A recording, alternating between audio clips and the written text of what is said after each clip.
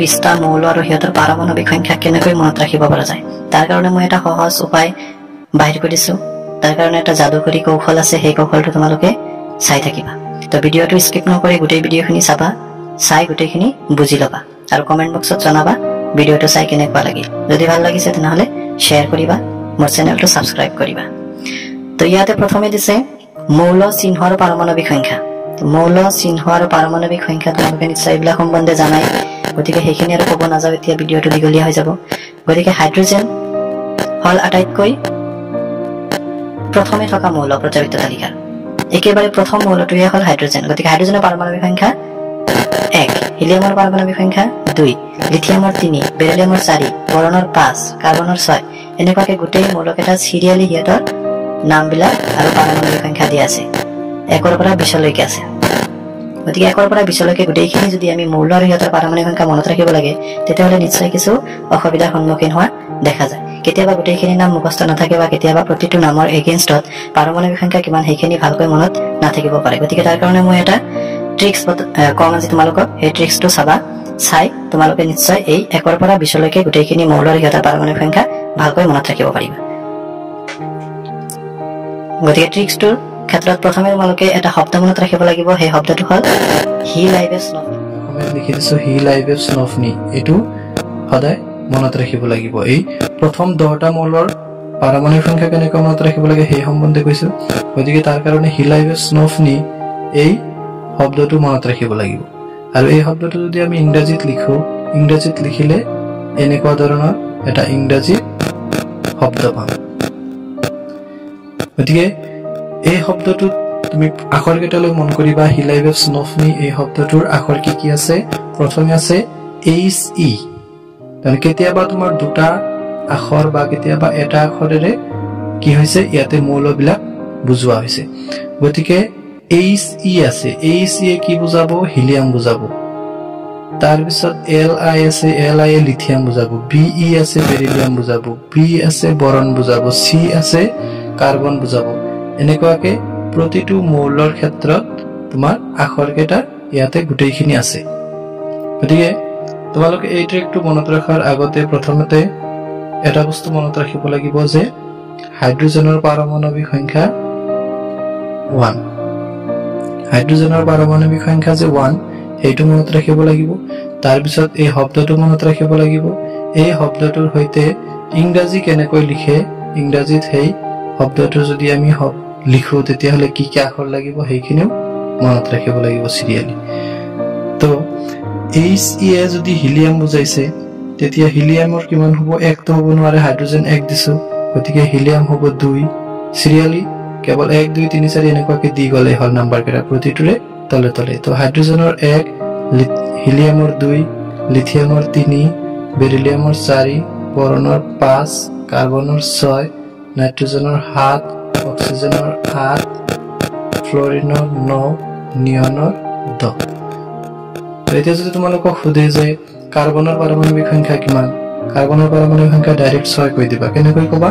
এনেকুৱাকে শব্দটো লিখি ল'বা। হি স্নফনি হি স্নফনি লিখি ল'লে চিৰিয়েলি যদি আমি হিচাপ কৰোঁ হাইড্ৰজেনটো অকলশৰীয়াকৈ থাকিব সেইটোৰ চিৰিয়েল নম্বৰ এক মানে পাৰমাণৱিক সংখ্যা এক হিলিয়ামৰ দুই লিথিয়ামৰ তিনি বেৰিলিয়ামৰ চাৰি বৰণৰ পাঁচ কাৰ্বনৰ ছয়। বা নাইট্ৰজেনৰ ক্ষেত্ৰত যদি সোধে অক্সিজেনৰ ক্ষেত্ৰত সোধে ফ্লৰিন ফ্লৰিনৰ ক্ষেত্ৰত সোধে নিয়নৰ ক্ষেত্ৰত সোধে যি নুসুধক কিয়? তোমালোকে এই চিৰিয়েল আখৰকেইটা যদি বহাই লোৱা তেতিয়াহ'লে সেই মৌলকেইটাৰ পাৰমাণৱিক সংখ্যা মনত থাকিব। গতিকে প্ৰথম দহটা প্ৰথম দহটা মৌল আৰু সিহঁতৰ পাৰমাণৱিক সংখ্যা তোমালোকে গম পালা। এতিয়া আমি চাম ইয়াৰ পিছৰ আৰু দহটা মৌল আৰু পাৰমাণৱিক সংখ্যা। তো চোৱা যাওক তো ছডিয়াম আছে প্ৰথমে। ছডিয়ামৰ ক্ষেত্ৰত পাৰমাণৱিক সংখ্যা কিমান হ'ব সেইটো আমি এই ট্ৰিকৰ সহায়ত গম পাম।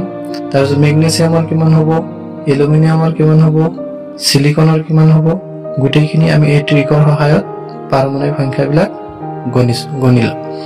তো ইয়াতেও এটা শব্দ আছে অসমীয়া শব্দত আমি এনেকৈ লিখিব লাগিব নেম গাল চিপছ ক্লাৰ। নেম গাল চিপছ ক্লাৰ। আৰু সেইটো যদি আমি ইংৰাজীত লিখোঁ N A M G A L S I P S C L A R লিখিলেহে নেমগাল চিপছ ক্লাৰ হ'ব। গতিকে এই শব্দটোৱে তোমাৰ গোটেইখিনি মৌল থকা বুজাব। ছডিয়াম তাৰমানে এম এ মেগনেছিয়াম এম জি এ এল এ এলুমিনিয়াম বুজাব। এছ আই এ চিলিকন বুজাব। পি ফচফৰাছ বুজাব। গতিকে এনেকুৱাকে গোটেইখিনি নাম ইয়াতে আখৰকেইটাই বুজাব। তো এতিয়া ছডিয়ামৰ কিমান হ'ব, আগতে সেইখিনিলৈকে কিমান পাইছিলো? ইয়াতে দহটা পাইছিলো। গতিকে দহৰ পিছত এই শব্দটো মনত ৰাখিলেই হ'ল। গতিকে ছডিয়ামৰ কিমান হ'ব তেনেহ'লে? এঘাৰ। মেগনেছিয়ামৰ বাৰ। এলুমিনিয়ামৰ তেৰ। চৈধ্য। পোন্ধৰ। ষোল্ল। সোতৰ। ওঠৰ। এই এইখিনিলৈকে ওঠৰটা হৈ গ'ল তোমালোকৰ মনত ৰখা। যদি আমি নেমগাল চিপছ ক্লাৰ শব্দটো মনত ৰাখো তেতিয়া ছডিয়ামৰ পৰা এঘাৰ আৰম্ভ হ'ব। এঘাৰ বাৰ তেৰ চৈধ্য পোন্ধৰ ষোল্ল সোতৰ ওঠৰ। এনেকুৱাকে ওঠৰটালৈকে হৈ গ'ল। তাৰপিছত লাগিব আমাৰ পটাছিয়াম। পটাছিয়ামত আছে ওঠৰলৈকে আছিল গতিকে এইটো ঊনৈশ আৰু কেলছিয়ামৰ বিশ। এই দুটাও তোমালোকৰ মনত ৰাখিব লাগিব। Sodium magnesium aluminium silicon phosphorus sulphur chlorine argon. তাৰপিছতেই পটাছিয়াম আৰু কেলছিয়াম। এই দুটাও তোমালোকৰ সেই হাইড্ৰজেনৰ নিচিনা মনত ৰাখিব লাগিব। তো প্ৰথমতে কি আছিল আমাৰ? এই ট্ৰিকটোৰ ক্ষেত্ৰত আছিল হিলাইভেভ স্নফনি। হিলাইভেভ স্নফনি মনত থাকিলে তোমালোকৰ প্ৰথমৰ পৰা দহটা মনত থাকিব। আৰু হাইড্ৰজেনটো প্ৰথমে আছে সেইটো মনত ৰাখিব লাগিব। ইয়াৰ পিছত নেমগাল চিপছ ক্লাৰ শব্দটো মনত ৰাখিব লাগিব। এইখিনি মনত থাকিলে আমাৰ ছডিয়ামৰ পৰা আৰ্গনলৈকে ওঠৰটা হ'ব আৰু পটাছিয়ামৰ ঊনৈশ কেলছিয়ামৰ বিশ এইটো মনত ৰাখিব লাগিব।